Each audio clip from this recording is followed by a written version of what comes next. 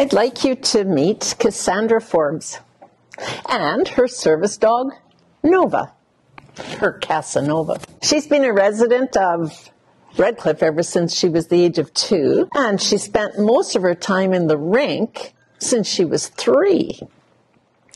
Currently, she is a figure skating coach and a student at hairdressing and design. Cassandra ended up with two stories. I'll call the first story Shattered Dream.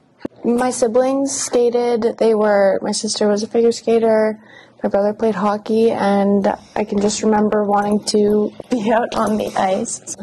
My mom finally, she begged the coach and they let me on. I took my CanSkate course, uh, which is like the little ones that learn to skate, and then I took my level one, which is more um, of the older girls going to competition. I got my course. You're allowed to get it at the age of 16, and I had started coaching a little before that just to kind of see how it was and if I liked it and I loved it. So as soon as I turned 16, I went and got the course. My family went on a cruise for a family vacation and they had some skaters on the cruise.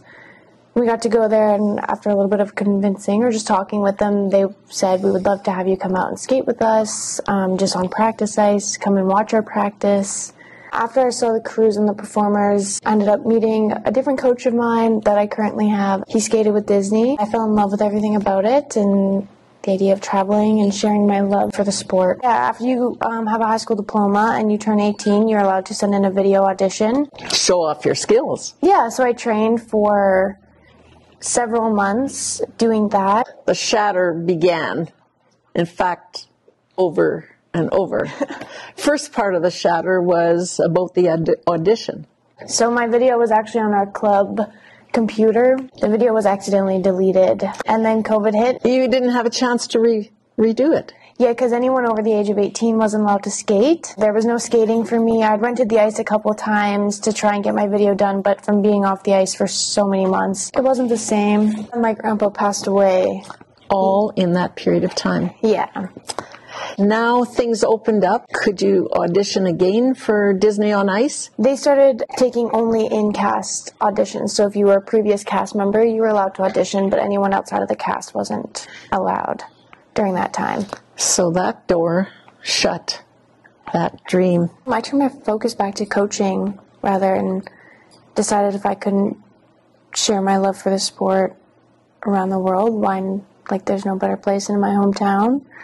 So I started coaching. That's actually when I got my level one certification. I started sharing my sport with the youth. Well, all of this certainly impressed me. Uh, how you could be thankful despite of all of these setbacks. Story number two, it's from the point of view of Oakley, who is also a member of your family.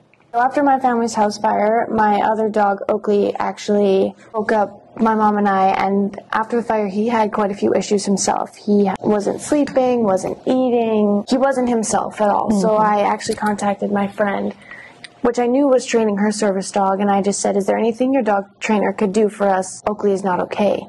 They actually came over, Jamie and my friend Layla, and they um, met with Oakley, and Jamie said, why don't you come to our training sessions and we will work on Oakley. We'll work with him to get him back to normal. We worked really hard and it was incredible the like changes that Oakley had overcome and he was back to himself and we were so thankful that Jamie and Cindy and Layla and BJ and just everyone. Mm-hmm. Kind of flash forward a couple months, my sister was moving out and Oakley is actually her dog. When everyone found out they were pretty upset because I wasn't going to be in the program anymore because I didn't have another dog. I was only like 18, 19. I couldn't afford another dog. That's when Jamie and Layla um, surprised me. They told me one night to come to training that they needed help with.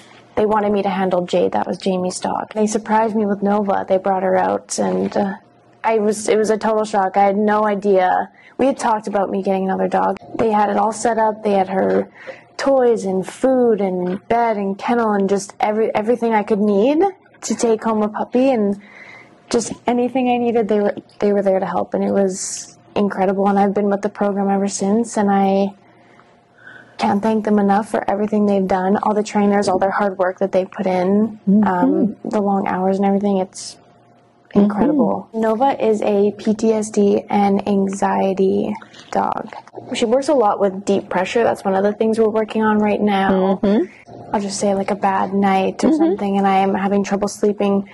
Um, I can lay on the floor with her and she can lay on me and it kind of helps calm me down. It's like it's like a weighted blanket but a yeah. dog. Aw. I would have never guessed that I would be here and I just am I can't say how thankful I am. What qualifications does Nova have at this point? Nova is a level one certified service dog. There are four levels. Okay. Um, it is it's rare for a dog to get their fourth level. Level three is kind of our goal, but I'm not in any rush to push it. I'm just, I enjoy being here. I've made lots of friends. Peer support is one of the biggest things in this group. Like I could text in our group chat that we have and just say like, does anyone want to go for coffee? And I'm like, I could say at least five people will say, yeah, absolutely, we'll meet you there. Uh, what's your connection to Jamie? I call him my grandpa. I call Jamie and Cindy my grandparents. I know I could call them and they would be there in a heartbeat. They they want to help and they're they'll do anything. Oakley, the first responder. I was little Oakley. Since then they call me hero. Now a valuable part in this family. Rough treatment I gave them just so I could save them. We're thankful but bruised by the tragedy. I loved how my wild hair had everyone wanting to brush it, looking good for the day. Want important tasks, but how do I ask? My being Pee Wee had me rubbed the wrong way. It was 4 a.m. when the fire broke out. Woke Mum with my ear piercing cries. Downstairs I leapt unto Auntie who slept. Had to get them all out despite my small size. Mum ran to the entrance to get coats and shoes, had to grab her, get her out that back door. Yes, no one got burned, but soon we all learned our lives had changed evermore. The first thing you miss is your toothbrush and paste, and needed to buy underwear. At Grandma's place, there was not enough space.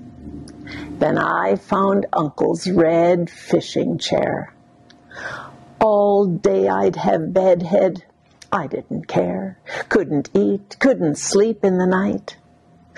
I could rest in that chair when the family's all there. But I was unsettled. We didn't feel right. I can now do bonfires with the help that I got. I'm Fire Chief Oakley, camping in my red chair. Yes, my family has stress, anxiety address as they tame my wild labradoodle hair. I love that dog. I love, I love that dog. Ooh, oh, oh, oh, oh, oh, oh.